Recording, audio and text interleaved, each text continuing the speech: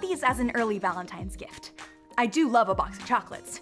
Do any of you ever break the chocolates apart looking for your favorites and then leave your not so favorites in the box? Like those with the pink fluff in the middle. I mean, what is up with that stuff? It tastes like medicine to me.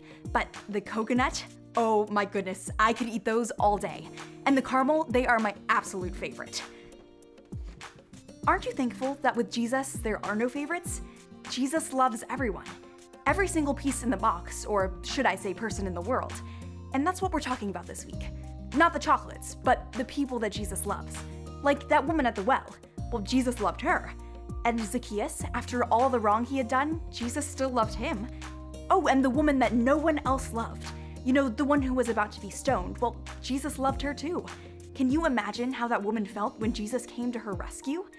And then there's Peter, good old Peter. Well, Jesus never stopped loving him, even after Peter denied him three times.